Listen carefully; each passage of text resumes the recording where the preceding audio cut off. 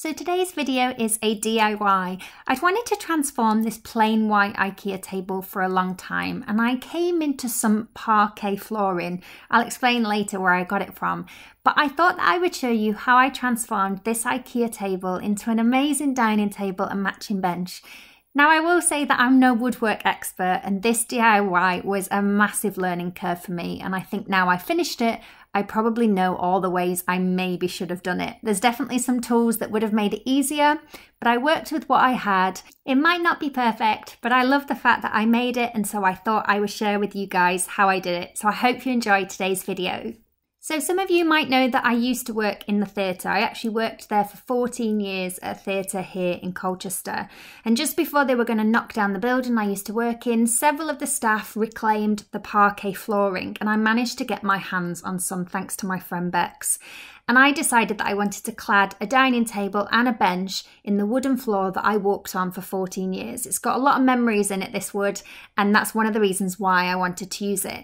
Now, the flooring, when it was ripped up, all had this bitumen on the back of it. And a friend of mine, Howard, another friend who helped on this DIY, he actually chopped all of the parquet pieces in half for me. As I'm only using them to clad a tabletop, they don't need to have the original depth. So they're half the depth now, all nice and clean of bitumen. However, the other side did have traces of it after them all being stacked up on top of each other for so long. I've actually had this wood in my shed since last year, so it was quite a big job to clean all the boards up. I had to use a lot of sticky stuff remover and a scraper, and it took me weeks and weeks. But the wood is clean and it's now ready to go.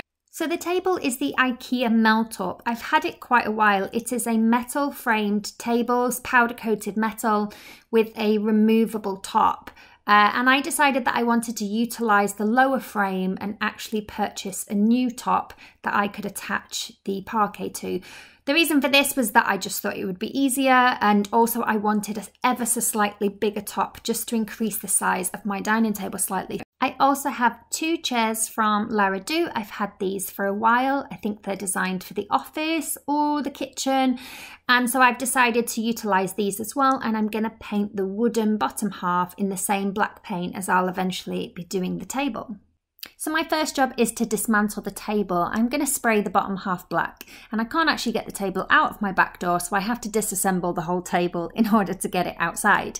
Now originally I thought that I would powder coat it black using spray which I did. I primed it um, with a primer and then sprayed it with a matte black spray but I did this all the way back in November 2019 and then didn't finish the rest of the table until the last uh, couple of months really. So by then I'd actually changed my mind. I wanted to do a different finish on the table with a different paint. However, this would work. With a spray, you would just need a couple more coats of black. I only did one. So my new tabletop is a simple piece of 12mm MDF, which I had cut to size.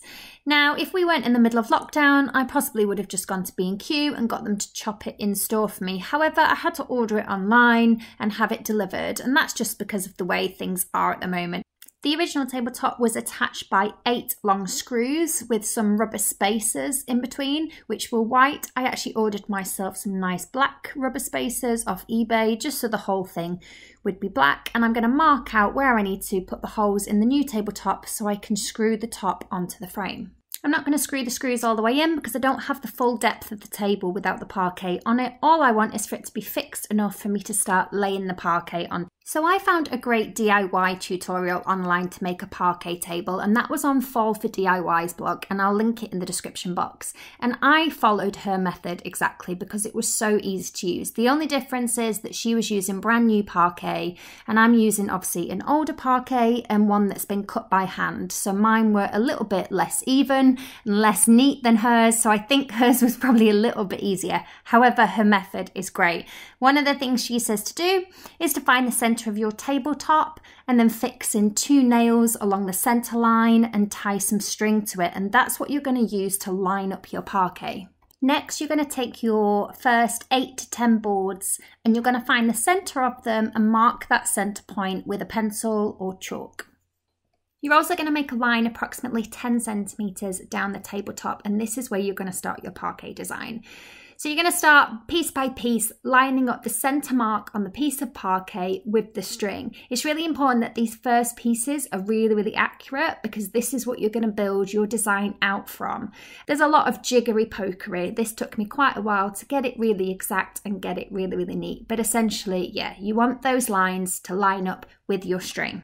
And then it's time to start gluing. I'm using Gorilla Glue wood glue, which is just really strong, really good. And I'm just going to cover all the backs of the boards and reposition them.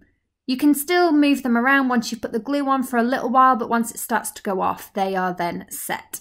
And then you're going to build out and glue down the design from there. You don't need the center marks anymore. You can just make sure that each parquet piece is pushed right up against the others. Now this took me a little bit of, of time because my boards were all slightly different colors and I didn't want there to be two really, really similar next to each other, but also didn't want two that were completely opposite shades of brown next to each other. So this was quite a long process, but well worth it in the end. Because my boards had been cut in half by hand, they did kind of all have slightly different depths to them. And I wish that at the gluing stage, I'd paid more attention with trying to line them up next to each other with similar depths. I ended up with a lot of bumps and lips, and that did take me a lot of work later on. So I covered the majority of the table in parquet with some of it overhanging and then I actually utilised the original tabletop which is quite heavy to weight the whole thing down and leave it to set overnight. So next day when the glue is all set, I've marked out where I need to trim off all the excess along the line of the new tabletop. And my plan is to use a jigsaw to just cut off all those excess boards. Now, ideally, what you would do is if you had a miter saw before you even glued these boards in place, you would measure them, you would mark them, and use a miter saw to create a really, really nice, neat cut, and you wouldn't have to do this. I couldn't pre-cut them with the jigsaw because I didn't have anything to clamp the boards with. It just proved very, very difficult to cut them by hand, and I found it easier to glue them into position and chop off the excess. However, I must confess, I didn't get as neat a finish, I think, and my line probably was was not as straight because I'm not that accurate with a jigsaw. But as you'll see later, all things can be remedied and made good, and obviously a jigsaw is probably most likely what most of you will have at home. My lovely jigsaw was loaned to me by the nice team at Bosch, and I love it so much I don't actually want to give it back. However, I have to, but yeah, thank you to them for loaning it to me. They also loaned me a lovely circular saw, which I used to take off the majority of the excess of the boards. However, it couldn't get close up to the new tabletop and I had to use the jigsaw to take off the last little bit. And then I started gluing in the remaining bits. So as I said, if you had a miter saw, you could measure these and you could cut them exactly so that they slotted in perfectly and you wouldn't have to do any more trimming. I, however, went for the option again to glue them in slightly overhanging and then I'm going to chop off all the excess with my jigsaw. I'm wearing a mask for the dust and I'm actually also wearing my glasses just to protect my eyes. I didn't have any goggles, but you do have to be careful of splinters of wood flying up from the jigsaw. And once it's all trimmed, it's now time to sand the top. So I'm going to dismantle the top and take it outside because it is a very, very dusty job. I'm going to be trimming my table and my bench with this wooden trim, which is about six centimeters deep. And so I'm just going to use a little hand plane just to plane off any uneven bits. So when I come to put on the trim, it's going to lie, well, as flat as it can with my jigsaw in. But yeah, I use the plane just to level the sides of the table out as much as I could. And then I've laid my tabletop on the floor so that I can sand it. I'm using a Bosch battery powered orbital sander, which they loaned me along with the other tools to complete this project. Now, it's a great piece of kit. However, this part of the project took me days and days and days because, as I said earlier, a lot of the boards were quite uneven. There was lots of lips, lots of boards next to each other with differing heights, and to get them all level took so much sanding and so much arm work, and I didn't film it all because you guys would be so bored. That would be my one piece of advice would be to make sure that you pay more attention to leveling it all when you're gluing it. However, in the end, I did get it all level and then I managed to move on to the just general sanding. So with an orbital sander, you want to sand in straight lines along the lines of the wood grain. So I had to do my tabletop in kind of two halves really. The wood came up absolutely beautifully with this sander. I started off with quite a um, coarse grit sandpaper and I actually sanded it three times, working my way down. I started with a 60 grit, then 100, and then 140. Again, I'm wearing a mask. I'm also actually wearing my sunglasses, again, to just protect my eyes. And obviously, it helped me because I was actually working outside. One of the things I also did was keep hold of the sanding dust every time I emptied the little chamber on the sander or I brushed up anything off the patio. I did actually keep it in a tub because I'm going to utilise it in a moment. So I'm going to filler some of the gaps between the boards. I've actually made my own filler using the sanding dust and some of the Gorilla Glue.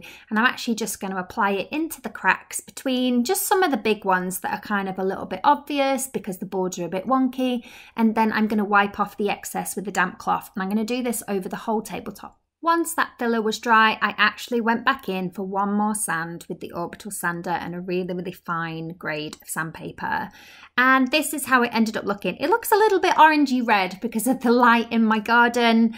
Um, but yeah, the boards have come up lovely. I've not really tried to get rid of any of the bumps or marks or scratches because I want them there. They're part of the history of the floor and I kind of like that about it.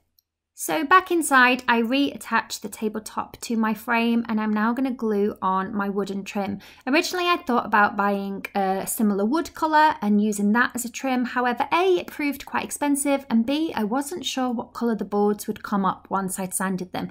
And I actually decided to carry on the black theme and create a trim that ran around the whole table and the bench. So this is just simple stripped pine, uh, which I bought from B&Q. I actually ordered it and did click and collect during um, Corona social distancing. Uh, now you could go in store and pick this up and I'm going to glue it onto the side of the table using no nails glue. I actually ran out of Gorilla Glue. I went through three bottles making the table and the bench. I would have used Gorilla Glue, but this no more nails glue worked really, really well too. So I've just put glue along the length of the trim.